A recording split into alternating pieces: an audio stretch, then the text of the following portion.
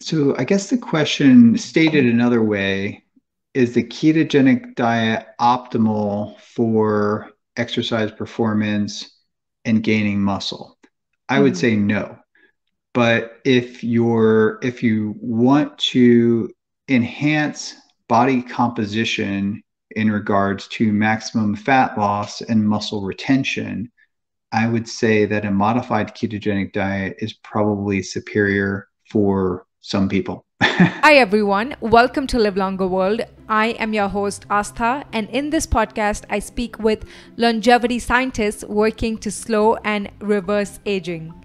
To find all podcast episodes and other resources, go to my website, livelongerworld.com. To find the link to the show notes for this episode, check out the description below. You said you take a beta hydroxybutyrate supplement. Um, is that to elevate your ketone bodies even more in addition to the modified keto diet keto? Yeah, the diet that I follow is like it's actually pretty heavy in carbohydrates relative to a ketogenic diet because I'm eating a lot of cruciferous vegetables, a lot of Brussels sprouts, broccoli, cauliflower, asparagus, and uh, berries. I have berries every night and a little bit of dark chocolate uh, and, and you know I try to get some nuts too, maybe walnuts or uh, almonds occasionally. But uh, so my my beta hydroxybutyrate in the morning is is really low, like 0. 0.3, 0.2, something like that. But at throughout the day, it as my metabolism revs up, I'm usually about like one. But I like to get it up to one like in the morning, and I think mm. that actually elevates beta hydroxybutyrate enough with like a ketone electrolyte salt to start getting some of the signaling effects, the anti-inflammatory effects, the epigenetic effects, even, and the signaling effects. So yeah, I take uh, there's different salts like on the market. You could do MCTs too. I don't take a ketone ester, although we tend to do a lot of research with them for different things. But use a product called Keto Start. It has sodium, potassium, calcium, and magnesium. So it's in a formulation that you can consume enough that it doesn't cause GI upset and can get your ketones as high as like two if you want it. But I just take like a third of the packet in the morning, I can feel it, and then I take the rest of the packet like midday. And uh, and the ketones do give your brain a little bit of a kick, and you feel it. I mix it. I'm a big proponent of creatine monohydrate, so I take ketone electrolytes with creatine monohydrate and um, acetyl L-carnitine. So mm-hmm. on a keto diet, your body's transporting a lot of fat to the mitochondria. In kids, we tend to see carnitine depletion in kids, especially if they're not eating meat. So, uh, and acetyl L-carnitine crosses the blood-brain barrier. It's kind of like people use it as a nootropic. Studies are being done on depression with it. So there's a lot of very interesting things. So it's one of the few supplements that I take. Um, trying to think of the supplements: vitamin D, magnesium, creatine, beta hydroxybutyrate salts, melatonin. I do take at night. I know that's a bit mm-hmm. controversial.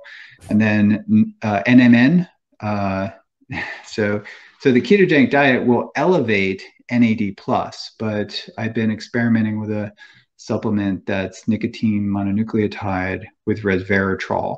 And i've used it on and off and trying to get an opinion about it. I think uh, i think there's some benefits especially with uh, when I take a higher dose and I exercise, it gives me a second wind.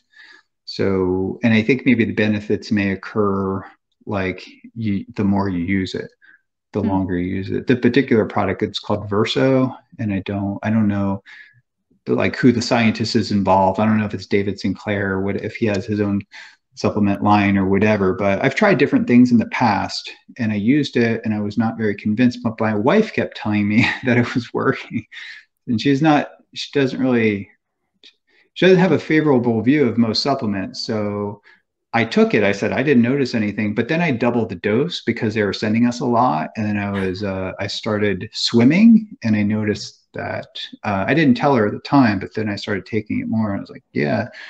I, I feel it but only if i'm really pushing myself aerobically.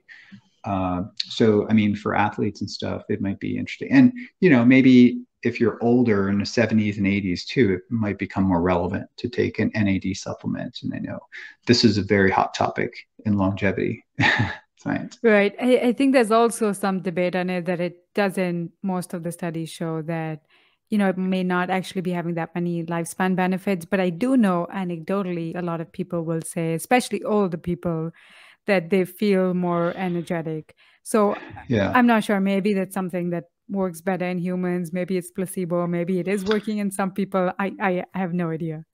I was skeptical. I sat on uh, study sections in federal grants reviewing some of the mouse data and things like that, uh, and was skeptical. But then more and more grants started coming in, and then I saw evidence that it was getting through the GI tract, through the liver, making it to the brain, having some interesting effects. You know, actually boosting brain tissue levels. Uh, and the critique has been, well, it gets to the liver, and but it doesn't mm-hmm. get past. But then I'm thinking, like, like you know, elevating NAD in the liver is probably a good thing. I mean, the liver is like the master metabolic regulator. So keeping the liver healthy is probably one of the most important things. So it's, it might be a good thing that you're, you know, through first pass metabolism, your the liver is getting hit with a big dose of NAD that might be uh, an anti-aging strategy for the liver. But uh, but some of the new data is showing that you know it's getting into the muscles. And then I have friends that are doing NAD uh, shots. There, some of them are doing IV, some of them are injecting and they're telling me that it's working. I haven't tried it yet, but uh, mm. I, I, kind of a few of them I really believe, you know, because uh, they don't make things up, and they've tried other things and said it didn't work. So I'm kind of curious. Uh, although I think my NAD levels are probably pretty good. The ketogenic diet increases NAD. So you asked about the mechanisms of the ketogenic diet, and uh, I was I chaired the American Epilepsy special interest group on dietary therapies, and we had a speaker, Marwa Elamin, uh, that was uh, she was the first author on a paper review article that discussed NAD as the main mechanism behind the beneficial effects of the ketogenic diet, and there's pretty compelling evidence that uh, the the ketogenic diet induced increase in NAD is contributing to some of the therapeutic benefits. Hmm, fascinating. Well, mm-hmm. what biomarkers do you track? Uh, in our well, I personally and in our study too, uh, I wear a continuous glucose monitor, so glycemic variability, so you can get directly know your average glucose, and then insulin, hemoglobin A1C, which is interesting to compare with average glucose, high sensitivity C-reactive protein, so HSCRP, triglycerides. Um, and blood pressure is probably one that I've been, you know, uh, really interested in lately. And I would love to have a continuous blood pressure monitor because I see how it changes under different circumstances. Mm-hmm. So glucose, ketones, and ketones through uh, breath ketone device and uh, blood ketones too. And yeah, actually, I use a ZRT cardiometabolic kit and we use this. We do some research with NASA in extreme environments, and these kits you can actually just put blood on a on a card and you don't have to do you don't need a phlebotomist and then you can send it to the lab just like a quest labs or labcorp and get and get data on that. And we're using that in our registered clinical trial uh, to test uh, continuous glucose monitoring as a behavioral tool to optimize uh, metabolic health. So we're doing that now. We're using levels software as a software that's kind of tracking and things like that. So that we're almost done with our second cohort. So we have some interesting data coming in. We presented some of it at experimental biology and at USF and then at Metabolic Health Summit. We have some some things. So yeah, I think the ones that are super important are uh, glucose, ketones, if you're doing a ketogenic diet, uh, insulin, HSCRP, triglycerides, LDL, HDL. So that's another thing we talk about cholesterol and uh, and blood pressure. I mean, that's kind of and then of course I do a CBC, like I do a complete blood panel. You know, CBC, CMP, uh, at least once a year. I like two or three times a year. I try to do it, but at least once a year I always do that. Okay. Okay, cool. Yeah. In terms of LDL, I guess I think a common concern on ketogenic diets is that it would raise the LDL levels do you think that's a concern at all or do you think i mean it something like apob or lpa is a better marker for um, just heart disease in general Yeah, we added ApoB to uh, to our panel because the cardio metabolic kit does not measure that. So we added ApoB, and uh, and that goes up too a little bit, but not not as much. Uh, so I, I think uh, you know LDL. I have to say that my LDL did skyrocket in the hmm. beginning, mm. but everything else improved. So HDL went up. My HDL was in like the 80s, and that's that's really good. Uh, and my triglycerides went down like below 50s. I had one that was like 39 in the 40s. So triglycerides went down. Uh, but the persistently elevated LDL is a concern for people who have uh, heart disease in their family. And also, if the other biomarkers are not going in the right direction. So mm-hmm. if you have, uh, if your glucose, hemoglobin A1C, triglycerides, if these things are not significantly improving, and you have uh, significantly elevated LDL as a consequence of a ketogenic diet, you need to make some changes. I would recommend, cautiously recommend. And some changes that you can make is actually switching out, I reduce my dairy fat intake and uh, animal protein, animal fat derived, you know, saturated fat to more monounsaturated fat uh, a lot of fish, a lot of uh, extra virgin olive oil, and MCTs, which is a saturated fat. Um, but I think, you know, when I first started doing the ketogenic diet, I was getting a lot of butter, heavy cream, and dairy fat. And just simply reducing that and um, eating a lot more fish, like just omega 3s alone. So, say you did nothing else but just started like mega dosing omega 3, you would see some improvements in, in your lipid profile across the board, including LDL. Um, and yeah, I mean, I don't think like eating a ribeye steak, two pounds of ribeye steak every day is, probably, I know people are doing that and they're getting benefits from that. And there's probably, you know, if you're equating for calories and your body composition is good and everything, you're probably not doing that much harm, but I, I don't think it's optimal.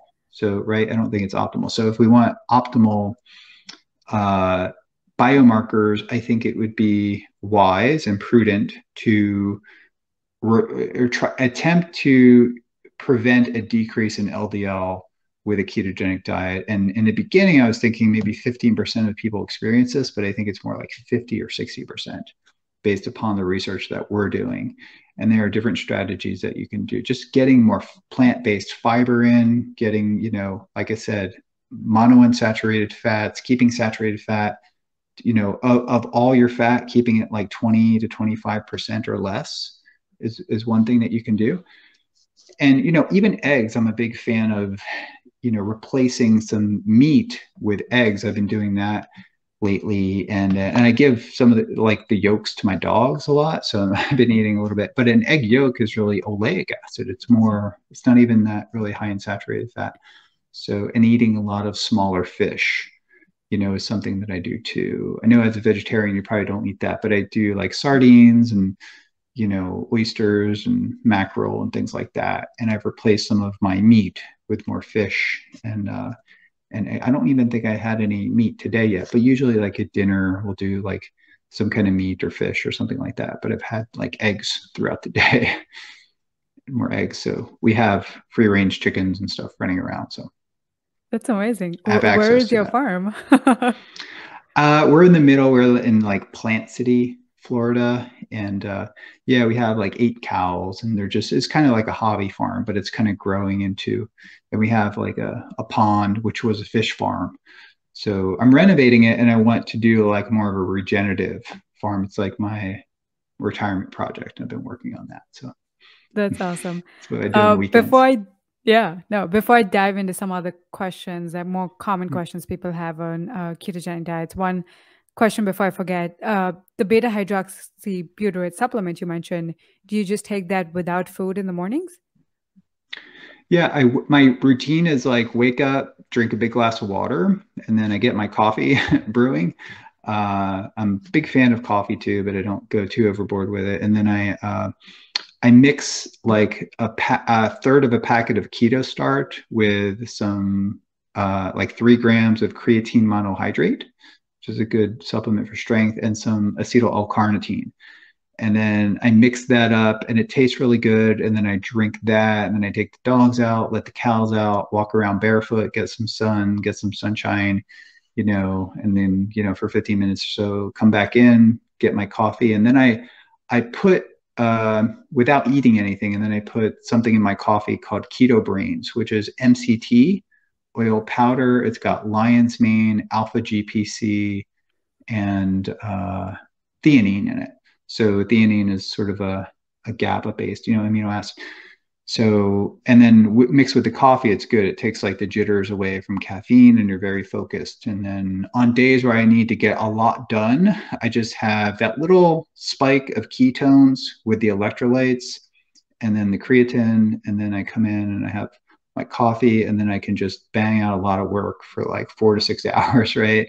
And then sometimes then I'll eat my first meal or I'll come in, you know, I'll have my coffee and then I'll cook breakfast. And uh, lately I've been eating more breakfast, you know, and I just do intermittent fasting maybe once or twice a week, something like that. But I like to sit down with my wife and have breakfast and have dinner.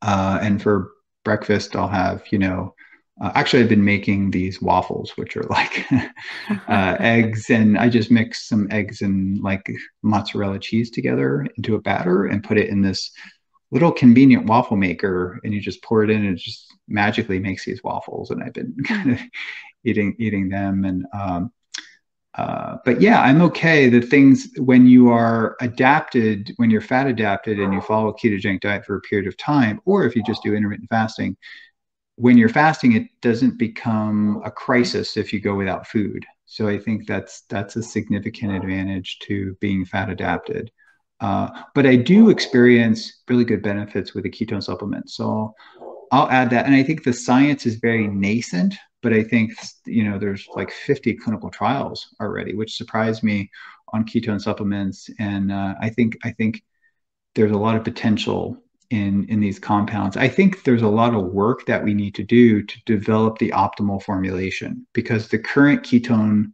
salts that are on the market I they have questionable purity, they have questionable mm-hmm. potency, and they have very questionable tolerability. That you drink them and then you have to run to the bathroom. They have they have so that's why the Keto Start product has like an electrolyte array similar to another product that I really like called Element. It's LMNT. It's like an mm-hmm. electrolyte. So Robb Wolf makes it. And then the electrolyte blend is very much the same, but the electrolytes are bound to ketones. So you're delivering the electrolytes and delivering ketones, beta hydroxybutyrate, at a pretty high concentration. And uh, like I don't take a whole pack, it's just a third of a pack. I feel it, and then I do the other two thirds later on the afternoon. So that has become one of my staple supplements. And uh, but I used to take tons of different supplements, but now I've narrowed it down to vitamin D, you know, maybe magnesium at night, um, and then melatonin. I do think there's a lot of benefits to melatonin for sleep. I did melatonin as a postdoctoral fellow where uh, I put it into solution with hippocampal brain slices, and I saw that it decreased oxygen free radicals and basically kept the hippocampus very healthy under conditions that would otherwise kill the neurons. So that made me kind of a believer in this when you do the research. And I think uh, it's a very good antioxidant. So I don't take it necessarily as a sleep supplement, although I take it during the day. I'm also in touch with patients that are using like one to two grams of melatonin, not not milligrams, like grams of melatonin for an anti-cancer effect. So these are cancer patients who more or less are effectively managing their cancer, and their melatonin at a high dose has anti-cancer effects and uh, some other interesting properties. So, and they're not sleepy. So, one of the things I actually say it has like a serotonin effect. They feel happy, they feel good. I think you're well past the dosage. You're saturating the receptors and everything. But they became because I never heard of people taking such a These high dose. Cancer patients these are cancer pa- yeah there's groups of cancer patients and they you know they send me papers and i was reading the papers and i was like there's pretty good scientific rationale for the anti-cancer effects of melatonin hmm. so you know I, I, communicated with them. I was like, well, how do you feel? And they said, well, uh, and these are a couple now. So first, and one patient in particular that I talk to quite often uh, actually goes by the name of Naples Dave. So you can look him up on Instagram and check him out because he has a, you know, his prognosis was not very good and he's pr- pretty, he's a, effectively managing his cancer uh, with ketogenic diet, fasting, and incorporating also the standard of care. Uh, and actually, he used exogenous ketones too, which is kind of interesting. Uh, but I, I, know his doctor at the Moffitt Cancer Center, and it's, it's a remarkable case, and I think it's actually worthy of maybe a case report. So, um, so yeah, and then you know, there's just people that are taking megadosing melatonin. It's something. It's a supplement that I've used since graduate school, so 25 years I've been using it, and I don't see any negative effects from it. And I think there's good health benefits and brain longevity benefits to using melatonin. You should uh, talk to Dr. Sachin Panda about it. If I remember correctly, I believe I heard I him say that he is not a huge fan of it because it disrupts your circadian rhythm and also leads to, I think, glucose spikes. So, yeah, I'm not sure about that. Mm, we talked about it a little bit. I brought it up in a recent interview that I did mm-hmm. with him. I'm not sure if they posted it yet on uh, on the YouTube page. But uh, so he was mostly not a fan of melatonin because of the potential for circadian disruption. Right. So if the, and you know and the the and he's very right that the dose of melatonin is like five or ten milligrams now, where it should really be like 500 micrograms. But on conversely, you have people taking a thousand milligram or five thousand milligram. You're taking gram, like you know, getting the raw powder and scooping it, and they're feeling great. All their biomarkers are great, and then, you know, I don't. I'm mostly interested in melatonin, not affected to circadian, and they're sleeping great too, from my understanding. But my interest in melatonin is as a neuroprotective antioxidant compound that crosses the blood-brain barrier and gets into the mitochondria and into the brain. I think it has remarkable effects. Uh, there and the anti-cancer effects too uh, in particular for breast cancer and stuff. So i'm actually pushing my wife to you know take it more prophylactically uh, but she's not doesn't want to take any kind of pills you know she's and I, I agree with her. I think the most important thing to do for sleep and circadian is to get out in the sun early in the morning get you know bright light in your face and uh, but you don't want to overdo sun too but i'm i've I'm a big fan of the sun. We live in Florida, so I try to get it early in the morning and just I kind of do work during the day, but I keep my my office, you know, keep a window right by my desk. I think that's important. Okay.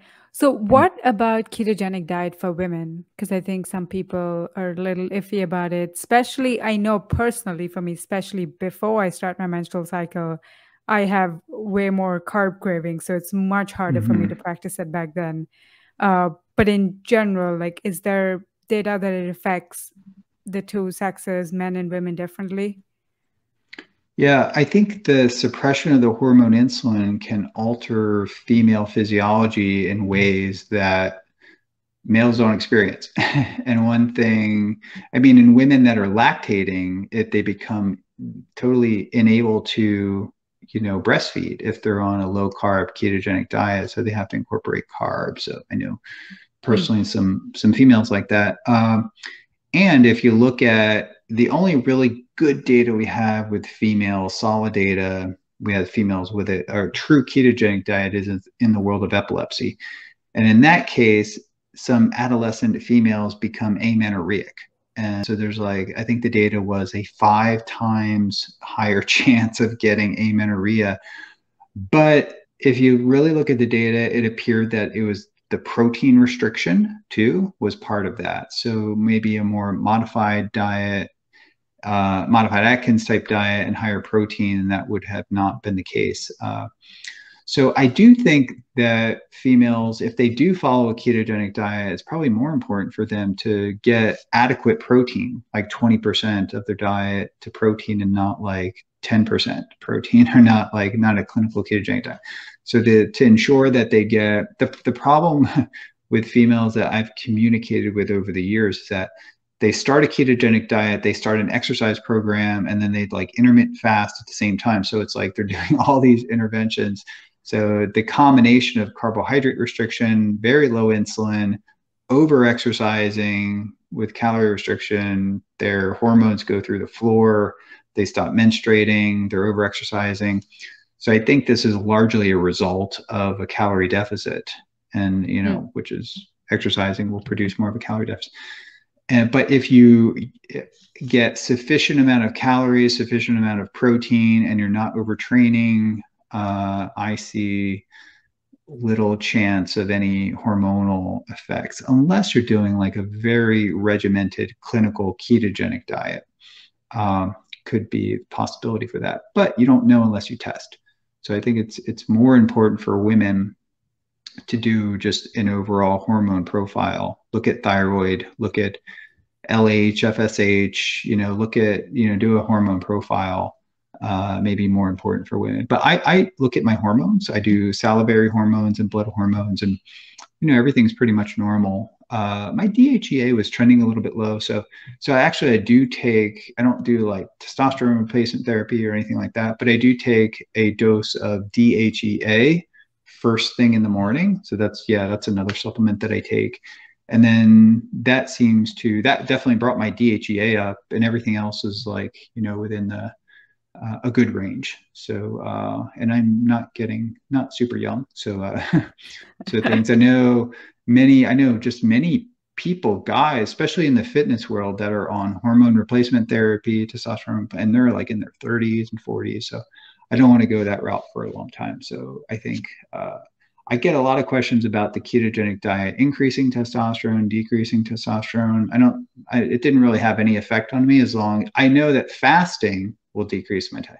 And that's why I capped my fasting to 3 mm-hmm. days when I did five days or seven days.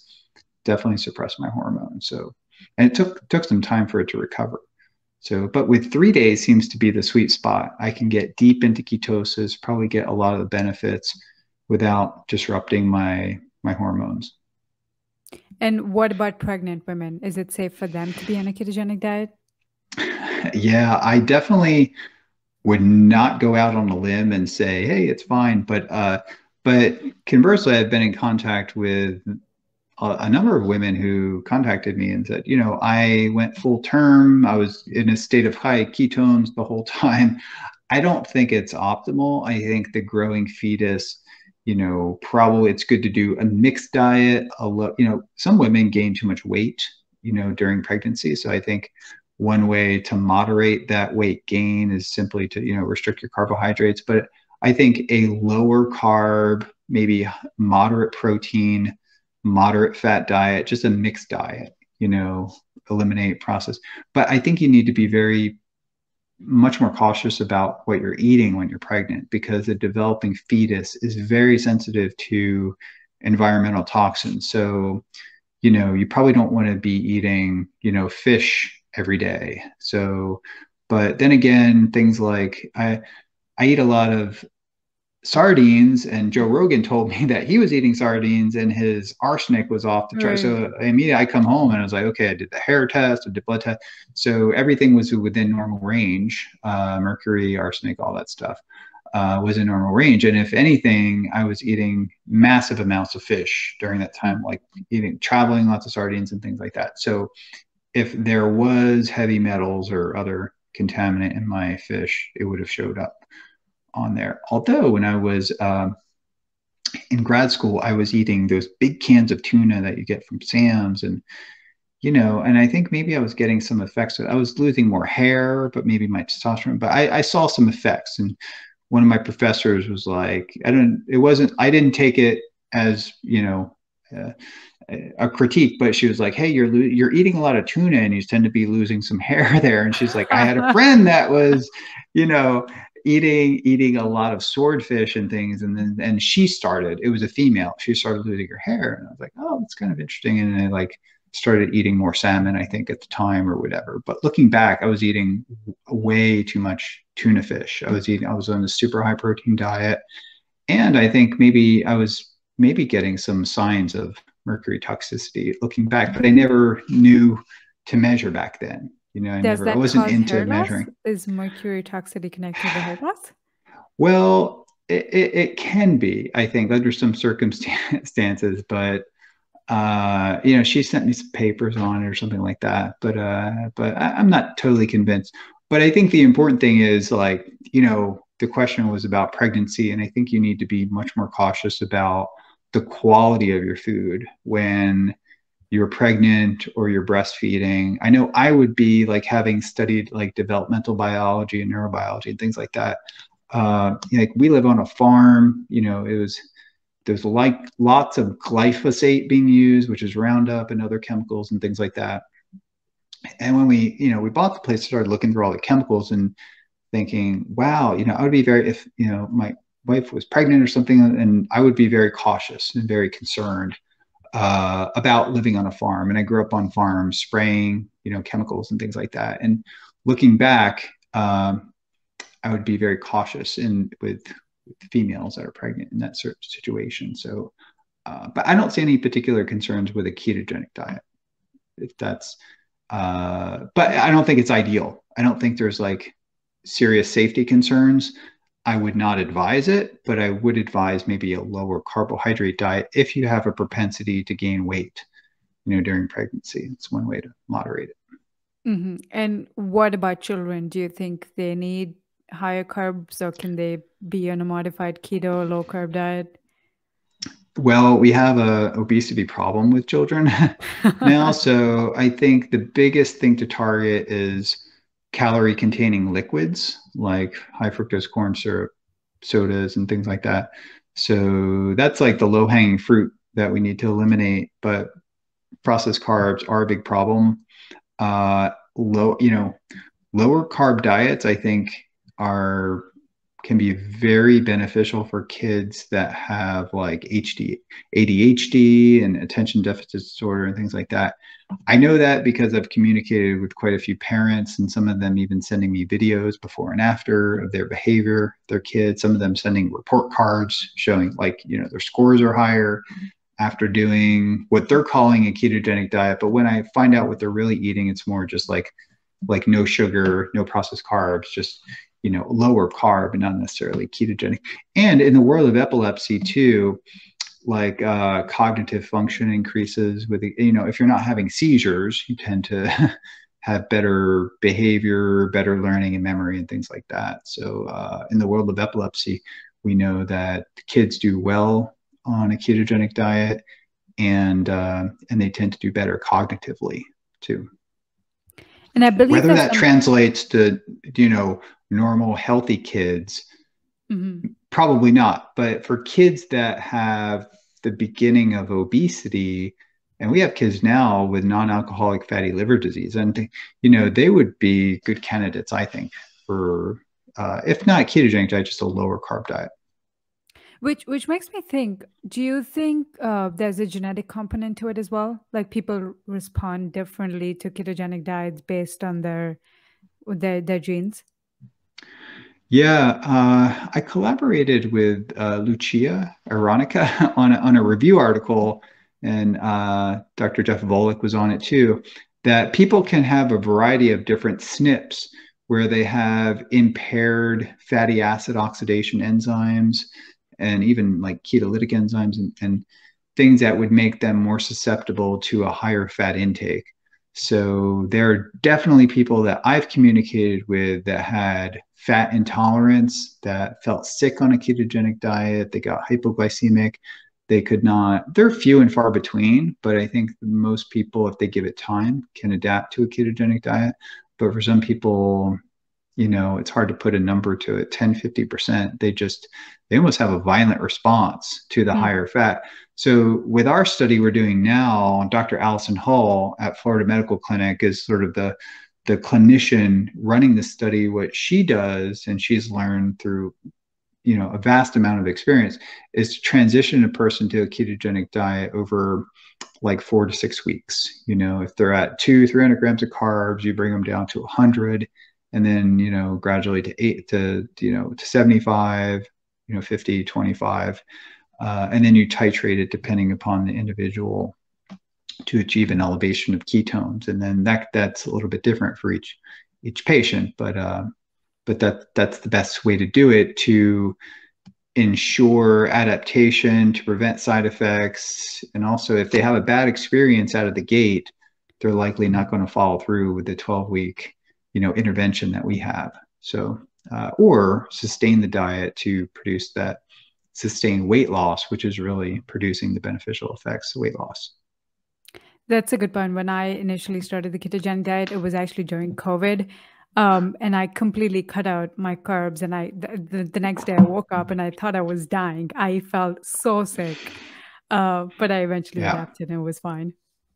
Yeah, yeah. The same happens with like intermittent fasting. So you can kind of uh, enhance that metabolic switching, which is a term uh, Dr. Mark Mattson uses, the metabolic switch. So uh, one way to help you adapt to a ketogenic diet is to do like low carb, intermittent fasting, and then gradually titrate your carbohydrates down. And and I think it could be not completely painless, but it can be uh, much more tolerable for most people to do it in that way, a more gradual way. I didn't do it that way. I just went like straight right into like I got Dr. Freeman and Dr. Kossoff's book and was like I bought the scale. At the time I bought these blood the blood ketone meter, which was like really crazy expensive at the time. Uh, I forget the name of the company, but it was like, you know, I went full steam into it and kind of got sick and lost a lot of strength and but you know after about three or four weeks i was like oh okay i see what you're talking about. Like i started feeling the benefits and then i didn't get hungry and that was very odd for me. I was very much into food to not be hungry. It was, it was kind of little strange to not be hungry all the time. Then i realized oh i'm going into a tenure track faculty position and if i can not be hungry i can get more work done and i can you know not have to be you know i can leverage it to my advantage. And i was reading so much about ketones i was really believing like wow if i get my ketones elevated then i'll just be much more productive and happy overall. So i think a lot of the benefits that i talk about with being in ketosis came as a result of the belief that ketones were magical and that they're going to do. And I think to some extent they are. And I think that's why I take small amounts of exogenous ketones because they do offer real world benefits. But I think a lot of my initial enthusiasm and you know advocacy of this was just through just being very compelled by the science and this was dr richard veech at the time dr george cahill who did research on like fasting dr mark Mattson. I think he had published that beta hydroxybutyrate was enhancing learning and memory because it was like it was the molecule that when you fast, uh, beta hydroxybutyrate goes up and that works through BDNF to enhance long term potentiation and memory and things like that. So I was reading all these papers and doing the diet and um, you know experiencing these benefits. And I think uh, half of my enthusiasm for this was I was very excited to be able to, you know to be in a faculty position to do what i love and to make this part of my you know academic research program. That was part of it too. And i had students that it's much better when you have students that are sincerely enthusiastic and interested in what you're doing you know. And and instead of studying like a drug or some kind of esoteric pathway with a diet once you get results it's like it has like real world applicability so you can talk about it and like people get interested in it right. as opposed to like you know some weird drug affecting KRAS for like cancer or something like that so but we do drug research we do metformin research and i know you had uh, a Dr. person on talking right yeah i have you know uh, a student of mine did his whole project just on metformin and and you know so we do drug research too. It's just most of what we do is ketogenic interventions. What was the research on metformin? Yeah, so we looked at the mechanism of metformin. So metformin does suppress cancer, like in our. So we looked at, you know, AMP kinase, but mostly uh, what we discovered is that metformin is working through complex one of the mitochondria, and it actually functions as like uh, a weak mitochondrial toxin. so it actually increases reactive oxygen species and that may contribute to you know maybe some of the anti-cancer effects but it has uh, through the through the mitochondrial electron transport chain, it has sort of a, a weak mitochondrial toxicity associated with that that is associated with some of the anti-cancer effects that we saw in the lab. And maybe i i was interested in melatonin i mean i was interested in metformin as a longevity drug. And you know our discovery was that it was sort of functioning as a mild mitochondrial toxin in a way. Um, and and I you know no doubt that it activates AMP kinase too. And we didn't see a very big. I was very interested to see a reduction in glucose. We didn't really see that in the mice. There was a trend towards it, but it wasn't really that significant. Uh, and I think if you if you have really high glucose, metformin can bring it down by enhancing insulin sensitivity, maybe through AMP kinase. But the main effect that we saw that it was kind of working to increase you know, mitochondrial ox- reactive oxygen species. And it was kind of working through this mechanism. So when you did the experiments on metformin, was it that metformin was given to mice who had cancer or just given to both groups and some the mice that had metformin didn't develop cancer versus uh, the others did? Yeah, we used the VMM3 model of metastatic cancer and it decreased um, you know, tumor burden over time. So it gave the mice like a little bit of a longevity advantage. And we also looked at another drug called uh, DCA, dichloroacetate, which activates PDH. And, uh, you know, we're pretty enthusiastic that that was going to produce an effect too, based upon some literature. But I think it had like little or no effect on our model. It was pretty mild effect, whereas metformin had a pretty nice effect on. And we didn't we didn't like couple metformin with other interventions. We I think maybe I wanted my student to at the time, but he was mostly interested in drugs and not so much the diet. So we just did metformin with a standard diet, and it and it had an effect similar to a modified ketogenic diet. Not not quite as much, but um, and and we never did a study where we like combined like metformin ketone supplementation, ketogenic diet, hyperbaric oxygen. Like I, I wanted to, because you know some patients are doing this too, and uh, it would be nice to do that. But I think if you throw too many things in, you don't know what's working. But we have kind of already studied each thing individually, so I think it would be nice to go back and combine like 2-deoxyglucose ketogenic diet, metformin, hyperbaric oxygen therapy. One of my students did vitamin C uh, for her uh, undergraduate uh, honors thesis, which was pretty nice data. Then she went to Oxford and did a master's there, and now she's at the Moffitt Cancer Center, just right across the street,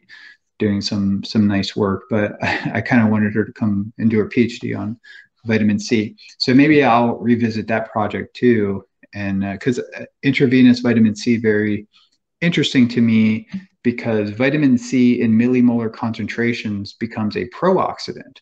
So you can drive the Fenton reaction and actually, you know, enhance oxidative stress in tumors by delivering.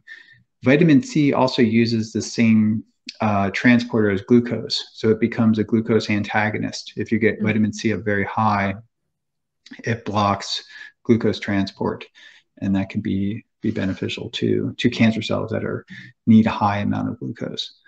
So um, yeah, so it, it, we are very interested in combining many of these approaches to develop a comprehensive, non-toxic, metabolic-based therapy for cancer. I mean, this is sort of a big motivation uh, of myself and the entire lab. Many people come to my lab because they're very interested in testing these uh, uh, drug therapies like metformin, DCA, 2-deoxyglucose, but also like these these dietary therapies too, and more integrative.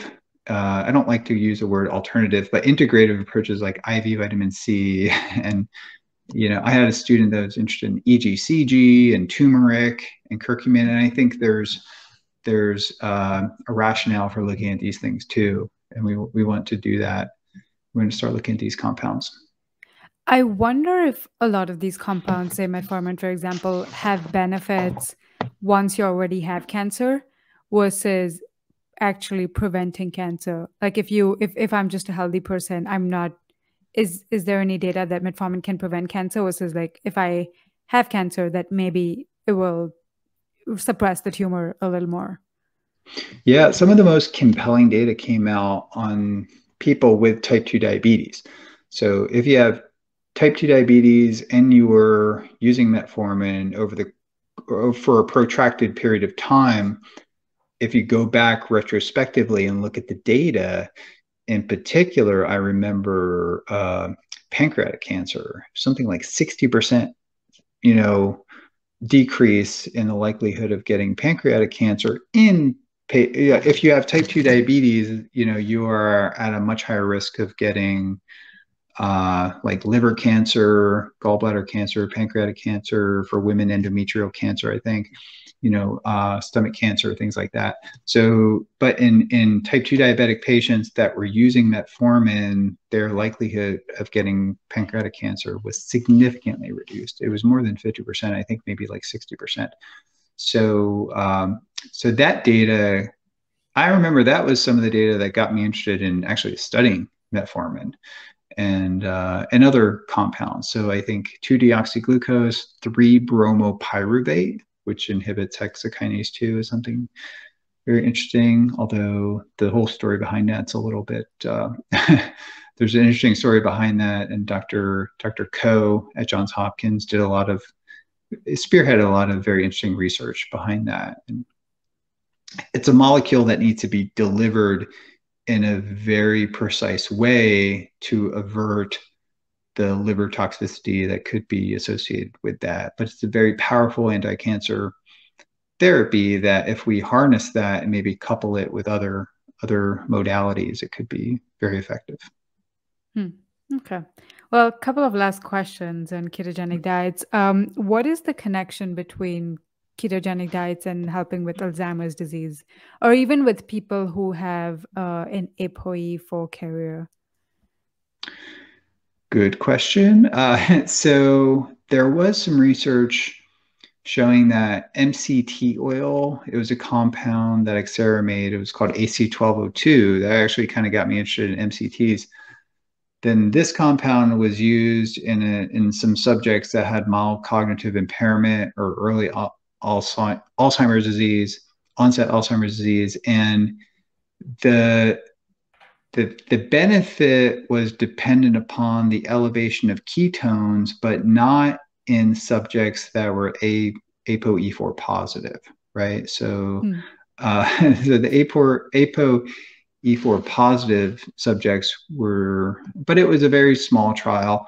But I think later, I think in a bigger study, if you were to look at this, I don't think that would be the case. So um, I'm kind of going out on a limb on that. But I think there was work, uh, a number of studies that have been done by different investigators, including Dr. Stephen Cunnane. You might want to have him on. Uh, he did studies looking at brain energy metabolism, looking at you know a glucose PET scan and then a ketone PET scan and for subjects that had mild cognitive impairment over time, you see glucose hypometabolism is a hallmark characteristic of Alzheimer's disease or even cognitive impairment. So it's been termed type 3 diabetes by some.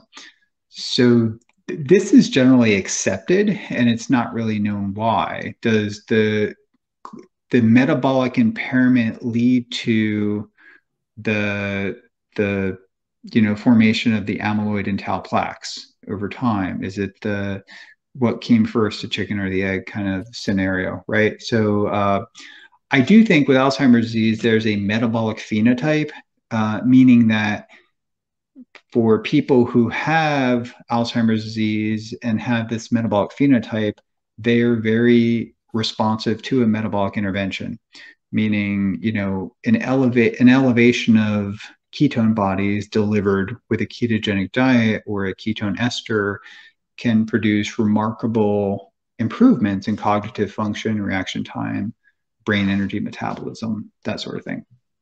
So I would say that Steve Newport, who is the husband of Dr. Mary Newport, she wrote a book about Alzheimer's disease and ketones and really highlighting the work of the late Dr. Richard Veech, who developed one of the first ketone esters which was actually used in a case report that was published, and he was the subject of that. And I had the opportunity to meet, you know, Steve Newport when he was still alive, and with Mary, and I, I witnessed him consume MCT oil and he became more animated. His tremors stopped. He was starting to get tremors at the time. He had pretty advanced Alzheimer's disease at the time.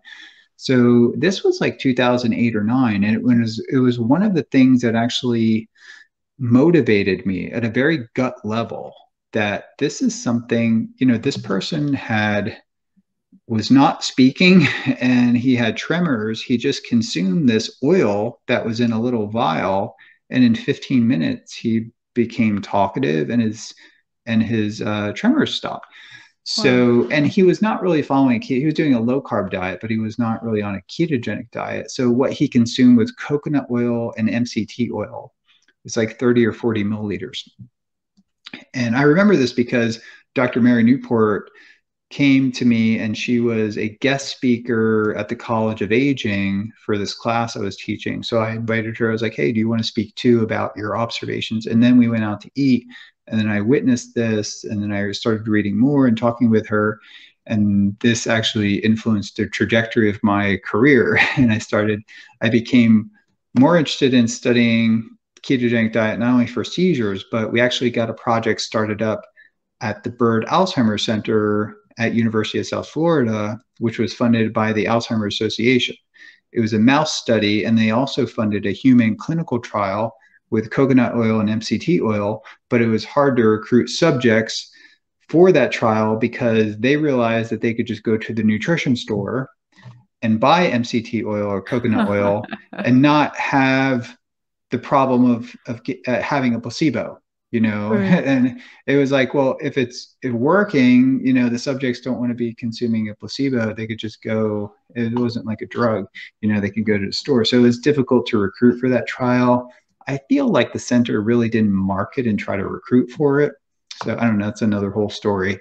There was there's kind of a big push for drug research but um but long story short yeah so uh, with alzheimer's disease i do think that many people uh, glucose hypometabolism is a hallmark, and quite a few patients will respond positively to a metabolic intervention. And if you are ApoE4 positive, the important thing is a ketogenic diet may not be totally optimal. I think a low carb diet that's rich in phytonutrients, you know, uh, I'm a big fan of coffee, green tea, turmeric, kale, parsley, cocoa, you know, walnuts, all these things, you know, and and some of these things are not ketogenic, but having a good balanced healthy diet and then with ketone supplementation and mm-hmm. omega 3s and maybe some supplements like alpha GPC and you know uh, uh, different brain boosting nootropic supplements may offer some advantage too. So uh, even different mushroom compounds like uh, lion's mane uh, could be helpful.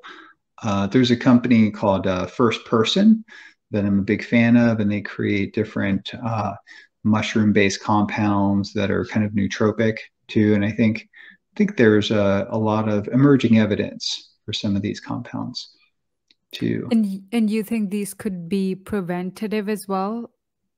Mm-hmm. Yeah. Yeah, I think the science is not there yet, but I do think that uh, anything that keeps your heart and metabolic health, you know, optimized is going to help your brain. So we know that. So blood pressure, glucose, you know, inflammation, like, you know, focus on that. And then your brain, it'll pay big dividends for your brain later on. But, and then physical exercise, but also training your brain, like actually doing mental exercises, reading, and not talked about much, but social engagement, you know, actually building healthy relationships, social interaction, things like that.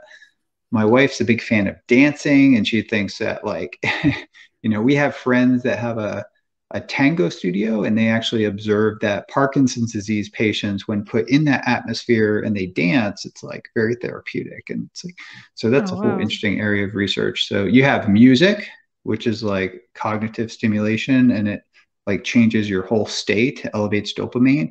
And then you're dancing, which is physical movement. And then you have social interaction stuff too.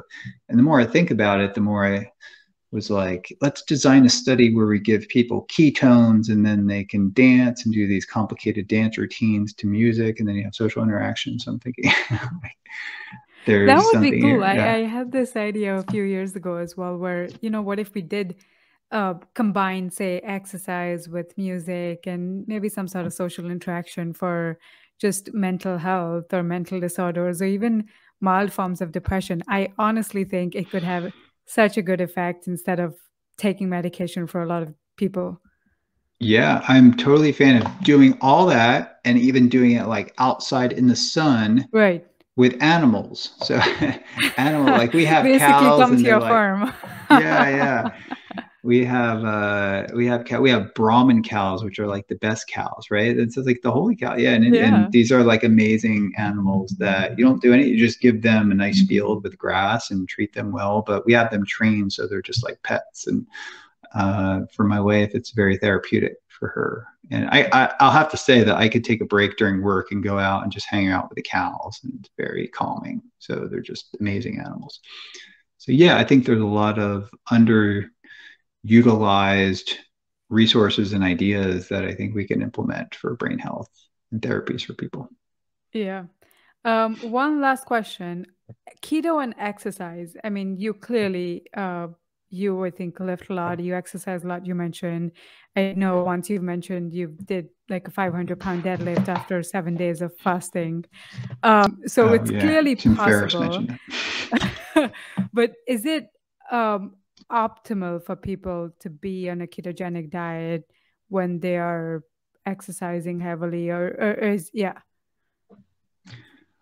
Well uh, so i guess the question stated another way is the ketogenic diet optimal for exercise performance and gaining muscle?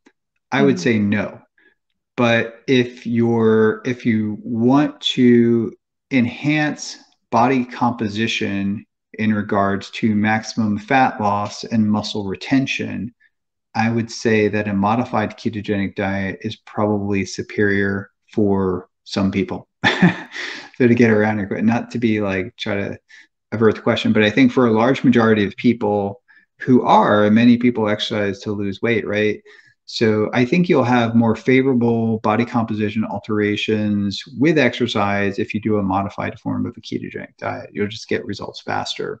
And I don't, if your protein is adequate and sufficient, you're not going to risk muscle loss if you get your protein in. And you don't have to go crazy with protein, but I think you do need to get it up to a certain level, about, you know, 1.2 to 1.5 grams per kilogram to really keep your muscle on and uh, you know if, if you're vegetarian that's not hard. If you can get eggs in if you're vegan mm-hmm. if you want to you know that that's another whole thing. And that's uh, you really need to think about combining you know different plant sources. But we do have plant plant proteins on the market that could be helpful for that. Uh, yeah. didn't mean to go down like the whole plant-based thing but uh but i do think a ketogenic diet uh, can be used. And whether it's optimal I'm in contact with uh, professional athletes, you know, that are using this from football players to, you know, hockey players and baseball players and things like that, that are using a ketogenic diet. So I know it's, I know it's possible to how be a very it, high level. Yeah, but how long does it take your body to adapt to it? Because I know from just my personal experience, when I initially started the ketogenic diet, it took me maybe at least two months or so to get back, get my performance back to where I was before the ketogenic diet. So can athletes afford it if it if it if there's an adaptation period? Yeah, that's the feedback is about two or three months, but I tell you, I think you know over the course of a year you're still getting adaptations and oh right the right, more right. you do it and the more you follow it the the more the more benefits you'll derive and the more mm-hmm. adaptations mm-hmm. that you'll get from it. So I think, you know, you kind of like many things in life, you get out of it what you put into it. And the more time and effort and there's a learning curve to doing the diet and tracking it and ensuring that you're actually in ketosis i know there was for me and i felt like i know more than most people about it but it was still quite a bit of a learning curve to do it right yeah no yeah. absolutely all right um, what else uh, questions that i haven't covered asked you other areas of research that you're excited about i know we covered a few that your labs lab is exploring, but maybe something else we haven't touched upon and you're you're quite excited about. Yeah, you know, I'm very interested in this idea of of an endogenous metabolite, beta hydroxybutyrate or maybe acetoacetate 2, being a being a therapeutic and being able to consume this as a supplement or a compound that can dose dependently elevate this endogenous metabolite to trigger signaling effects that could be anti inflammatory processes or what we're really focusing on now is like neuro regenerative neuroprotective things and epigenetic things so we're looking at epigenetic pathways so we're in the process of now of you know developing methods for histone extraction, you know, uh, looking at uh, histone modifications, looking at, you know, re-regulating histone modifications, improving gene expression patterns, increasing doublecortin and neurogenesis. Like we have animal models where we're looking at that. So, um, and then, you know, we're doing behavioral studies where we're looking at increasing and enhancing learning capacity you mm-hmm. know, uh, learning and memory, but also improving like behavior, like uh, anxiety behaviors and things like that, and reversing that. So I'm pretty excited about that. And also the expanding field of metabolic psychiatry.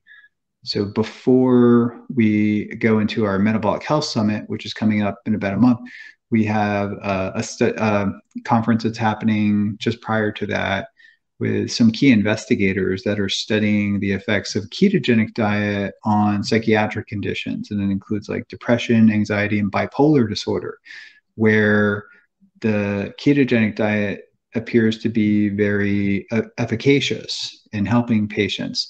So this had been reported and actually being studied by a number of key people uh, one of them is from stanford uh, that Dr. Uh, will be from Stanford is, is kind of investigating this, and several NIH funded investigators will be uh, uh, coming together to talk about this. So I'm very excited about the, the future of nutrition as uh, a metabolic intervention that can help with psychiatric disorders too.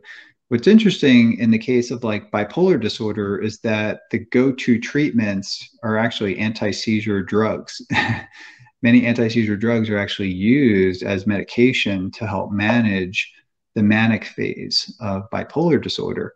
So it kind of makes sense that, you know, ketogenic therapies can help to manage patients uh, that have bipolar. And Dr. Chris Palmer was a speaker. Uh, at our event and will be a speaker uh, this year too. And he's at Harvard and he's had a number of patients that he has helped. And I became aware of his work, and I think I would like to bring more attention to this uh, idea of improving uh, mental health and and actually treating psychiatric conditions with with a ketogenic diet. Oh, that's that actually is a really exciting idea and field because I, I wonder if it's if it's just so many things happening, right? Maybe your brain is just calmer, but also maybe if you're just cutting out the processed food and sugar, you might just feel better. You're more active. I that's I I, I do hope, yeah, it becomes. It's part of it. Prevalent. I mean, we know from epilepsy that you're changing the neuropharmacology of your brain. Whether dopamine and serotonin are involved, I don't know. We haven't looked into that. But adenosine, uh, is definitely elevated, like two or threefold higher. And then GABA to glutamate ratio. GABA is significantly elevated relative to glutamate. So I think GABA can have a calming effect, you know, anxiolytic effect. Uh, this is this is like without question we see that. I measured my own neurotransmitters and saw that too. I wanted to make sure our mouse data was uh, was happening in myself too. Uh, so so yeah, I think that's kind of on the horizon, and it's it's an area of research that I'm very excited to be part of. Uh, the use of nutrition uh, to impact metabolic psychiatry. This whole field, I think, will advance quite a bit in the next couple of years. And uh, there's just I just thought of this, and maybe there's no study or you don't know about this, but could you maybe combine, say, psychedelic research with the ketogenic research and ketogenic endogenous, ex- exogenous ketones? Like, do you think that would help as well? Yeah, you know, I'm I in the past I'm kind of hesitant to talk about psychedelic research, but the more I connect with people that are using some of these you know mushroom compounds the more i'm starting to get very interested in it and i would encourage people to go to the website first person and they're developing for right now it's like compounds that can be used as nootropic from lion's mane to reishi to chaga and you know different things cordyceps mushrooms uh, but I know they're working to advance this idea of developing a particular strain of psilocybin for microdosing and then microdosing compounds for mental health, for depression, for anxiety. The, the people behind it actually brought to my attention they had a father that their father was uh, suffering from Alzheimer's disease. And in the later stages, they had given him uh, I, I, hope it's okay to make this public, but they had given him some psilocybin and they saw remarkable effects. He became animated. He could do things that he otherwise couldn't do and i thought well that's that information should get out. And i think that motivated them to sort of start the company. I think initially it was called leo wellness but now it's first person. Uh, i think it's like they're it's a get first person maybe the, the website but if you google search it you'll find it and they have developed some very interesting formulations uh, that can be consumed in the morning to enhance like dopamine in the later, you know, mid part of the day for serotonin, then at nighttime to help, you know, with sleeping or calming you down. And then I know they are working to advance this idea of developing a microdose formulation that can be used by the general public, but would have major implications for getting people off some of the SSRIs and other drugs that are often prescribed or overprescribed. Uh, I do think this is a very rich area of research. I was generally hesitant to get involved with some of these companies, but then I saw the NIH was sponsoring workshops and encouraging investigators to actually do this kind of research. It's like, you know, my university would like steer professors away from anything like CBD related, and then then it was like then they're sending emails to be like you should be submitting grants to to do CBD research. so it's like you know the attitudes have changed over time, and I think that we're getting to a point where academic universities will start encouraging their faculty to sort of get involved in this research if federal dollars become available. Of course, it's usually how it works, um, and I'm excited to get into this research just because I've communicated with people that have used these uh, natural compounds that you know they're found in nature that seem to be remarkably beneficial and therapeutic for certain disorders.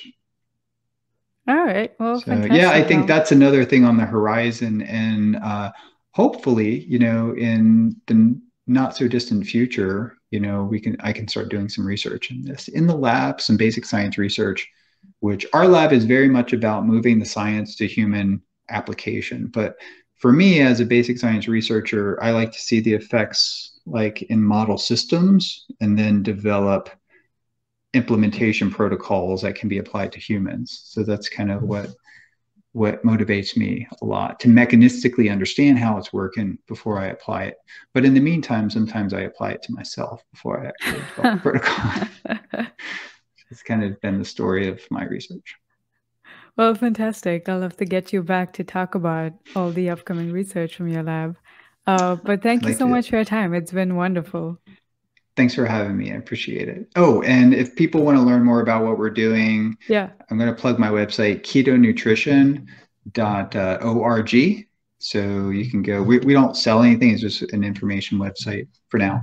So I encourage people to look at the blog because I go into more in depth about many of the things I talked about here. And I'll definitely link to it as well. So uh, Great, definitely, thank you. It was helpful when I was starting my keto journey. So yeah, I'll, oh, I'm sure thank it's you. Appreciate that.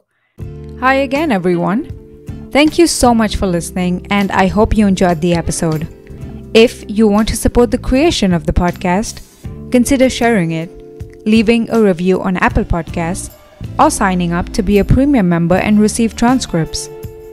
You can also donate on Patreon, which is patreon.com forward slash live longer world, and connect with me on Twitter, where my handle is live longer world. Lastly, all information and resources can be found at livelongerworld.com.